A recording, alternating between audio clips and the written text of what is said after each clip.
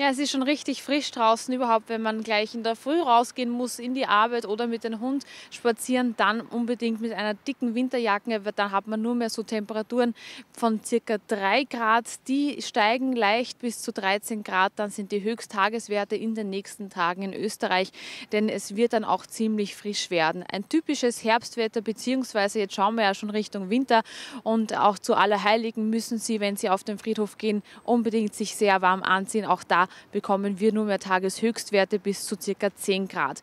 Es wird dann auch sehr frisch Richtung Steiermark und auch im Mostviertel und Donaukanal. Da blicken sich aber dann wieder ein paar Sonnenstunden, äh, gehen sich dann aus und da wird es dann aber dann am Abend wieder etwas frischer werden. Es kann auch sein in manchen Regionen in Österreich, dass es auch regnen wird und da wird es dann auch schon etwas äh, wieder glatt, glatt werden auf der Straße. Also unbedingt auch vorsichtig fahren mit dem Auto.